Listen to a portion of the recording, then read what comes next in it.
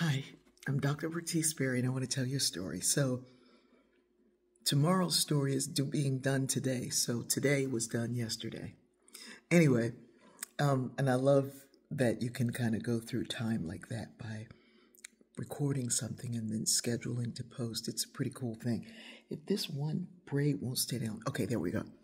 Okay, so I'm sitting here I've lit my candles. I'm burning a little bit of sage. I'm starting my morning prayers. Got my prayer Bible and my Bible ready. I use uh, an Oxford annotated Bible for study.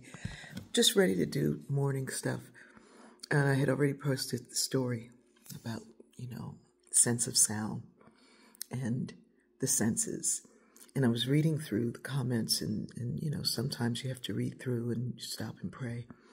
So those early comments, you know, are very often included in my prayers. Anyway, boy, that was a whole lot that, that is not the story, but I love it.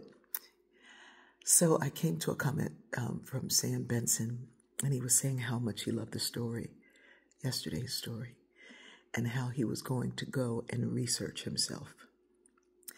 Literally five minutes before, I was thinking how much better we'd all be if instead of spending all the time we do searching into others' business, people's business, we would research our own self.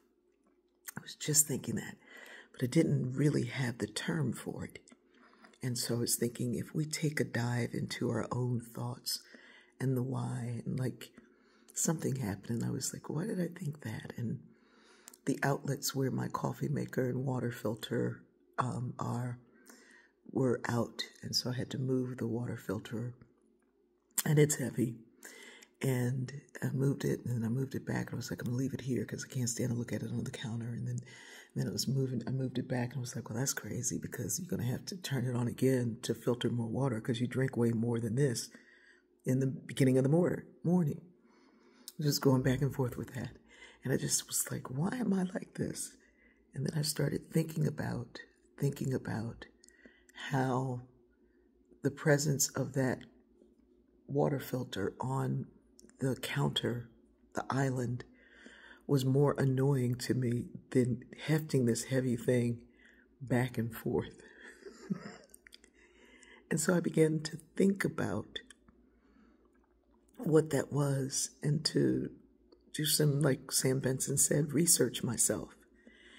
And what I found was delightful and joyful, and it wasn't um, angry or sad. It didn't come from a place of lack. It didn't come from trauma.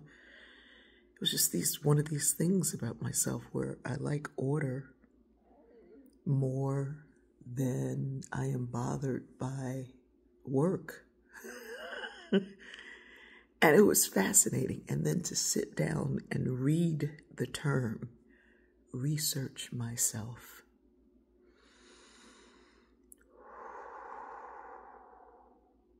What if we took a little bit of time in the morning to research, research our own self, to search our soul, to search our mind, to search our hearts, to search our thoughts and our intentions, to see why we do the thing that we do maybe, just maybe, we won't be so bothered by what somebody else is doing. I love you.